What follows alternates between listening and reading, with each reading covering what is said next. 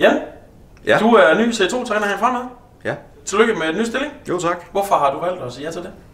Jamen, jeg har jo været træner i, øh, i mange år, synes jeg selv, og så øh, kunne jeg godt tænke mig at prøve, at prøve kræfter med, med nogen, der var lidt ældre.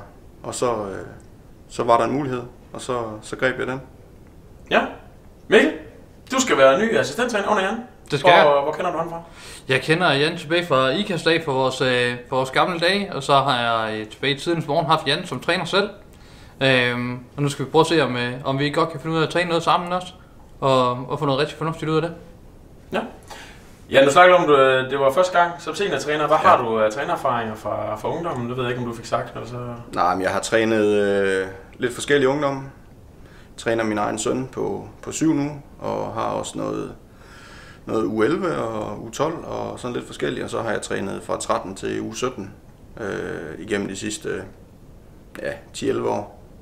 Hvad, er det, hvad for en fodboldstil kan man regne, kan man forvente, uden at du skal afsløre for meget over for kommende modstandere? Men hvis man ser som en, en C2-spiller fremad lige nu, hvor man sidder og tænker, hvad, hvad bliver det her for noget træning? Hvad, hvad for en fodboldspil vil du gerne have spillet? Jamen, så, øh, så kan jeg godt tænke mig, at, at vi kommer fremad, både når vi har bolden, og så også, øh, også når, vi, øh, når vi forsvarer. Så vi, vi skal ture nogle, nogle ting. Vi skal have spillere, der tør kan tænke selv, og kan tage nogle beslutninger selv. Øh, så det, det, det håber jeg, man kan se, når vi kommer i gang. Og Mikkel som assistenttræner på et øh, seniorhold i Herning Fremad, som gammel ikastmand, Ja. uha, uha. øhm, hvad kunne du godt tænke dig, at din rolle bliver? Eller, altså, hvis du selv kunne få lov til at skabe din egen rolle, det kan du jo, men hvis, hvis du kunne få lov til at bestemme, hvad, hvad vil din rolle så blive? Det, det, det som jeg skal skabe som, øh, som min rolle, det som jeg gerne vil bidrage med, det er helt klart det gode humør. Øh, jeg tror på, at med øh, det sociale i orden, så skaber man også gode resultater på banen. Og øh, så har jeg nogle, øh, nogle fornuftige tanker i forhold til dødbold specielt, øh, hvor jeg gerne vil prøve nogle måske lidt anderledes ting, lidt spændende ting, og, øh, og være med til at bidrage med. Men ellers øh, højt humør, smil og glad dag. Perfekt. Til sidst, Jan, nu har I lige siddet til et uh, træner-ledermøde derinde. Hvad er det for en, uh, en træner-ledergruppe, I bliver en del af nu? Jamen, det er jo en, en gruppe, hvor de fleste de, øh, de kender hinanden.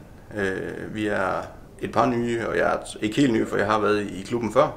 Øh, men, men jeg glæder mig til at arbejde sammen med dem og se, hvad, hvad, hvad vi kan drive til, alle sammen i fællesskab. Det, jeg tror, det bliver rigtig spændende. Det er nogle passionerede folk, der gerne vil gøre en ekstra indsats.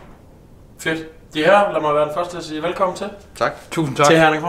Tusind tak.